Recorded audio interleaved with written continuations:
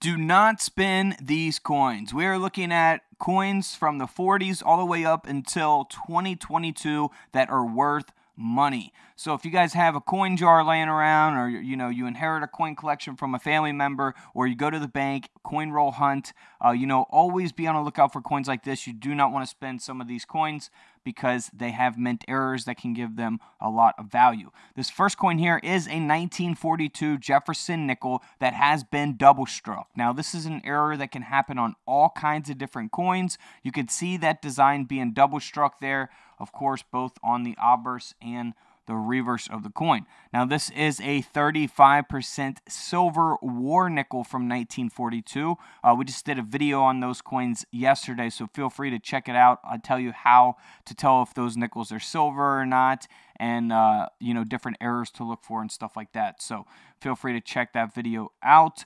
Uh, but this coin ended up selling for $336 at auction. It is graded or authenticated by NG see. Next up is a 1944 Lincoln wheat cent. Now this coin here has a die break, also referred to as a cud.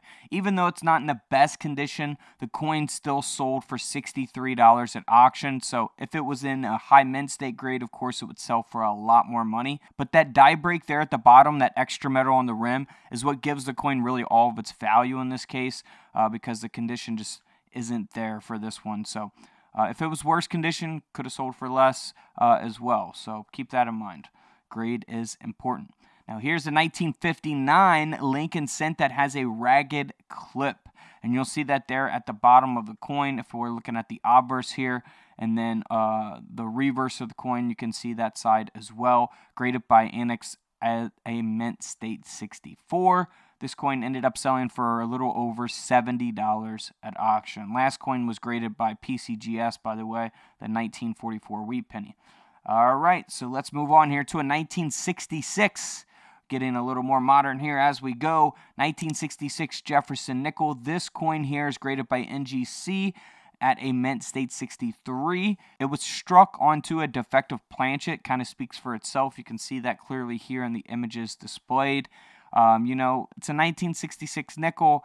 Uh, they're very common coins, but when you find them with errors like this, it can add some value to them. That's why this coin sold for around $60 at auction. Moving along to a 1967 Lincoln cent. Now, this coin here has been double struck. It's not as noticeable as a lot of double strikes uh, that we typically look at uh, that are very obvious. You can see this one really on the lettering of the coin. You can see it there on the back of Lincoln's head. Um, you know, uh, here on the reverse, you can really see it on the lettering of the coin United States of America there.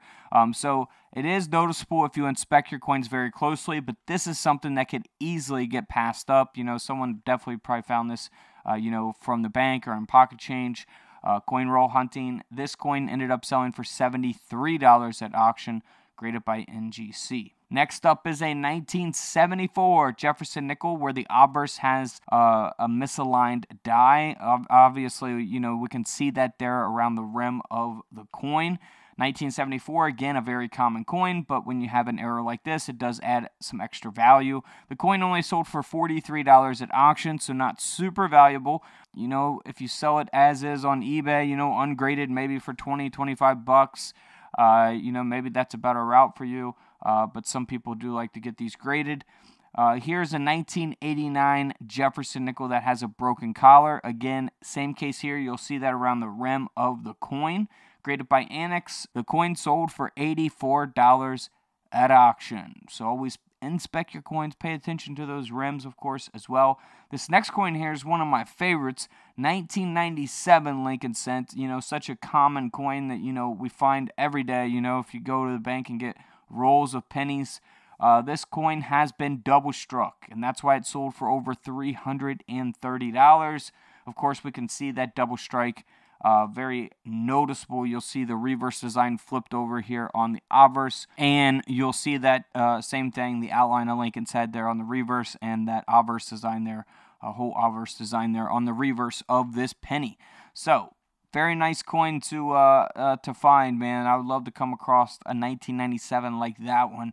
I would definitely keep it in the personal collection. I don't think I would be able to sell something like that. That's one of my favorite type of mint errors is a double strike.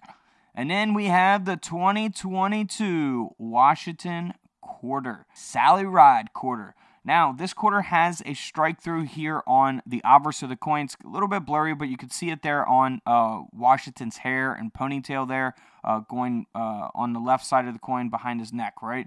So, pretty obvious, you know, something easy and simple to look for on 2022 quarters that, you know, you're going to find in circulation all the time. Here's a little close up of that. Um, but yeah, awesome coin to look for. Sold for $24 on eBay as is, ungraded. So, I mean, if you could find 25 cents and sell it for 25 bucks, 24 bucks, uh, you know, why not? You know, it's a good deal. Uh, you're making some profit there, especially if you found a whole row of them. Could you imagine? That'd be a that'd be the jackpot there. Now here is a no dated uh, Lincoln cent. It's from the 1970s. Looks normal on the uh, reverse of the penny, but here on the obverse of this coin, you can see that it was struck through a late stage uh, capped die. So die is what has the design on it and it comes down and strikes the planchet in order to create the coin. This is a die cap strike. So yeah, always be on the lookout for those. I found those uh, from uh, the bank. You know, tons of people have found these on all kinds of different coins, not just Lincoln pennies. So uh, if you guys got a coin jar, if you inherit a coin collection, if you go to the bank and coin roll hunt uh, coins, you know, always, always look out for coins like this and inspect them closely because you never know what you might come across. And don't forget to subscribe in the middle. Feel free to check out the videos to the left of me. And until tomorrow, I'll see you guys in the comment section below. This is Couch Collectibles, and this is where I disappear.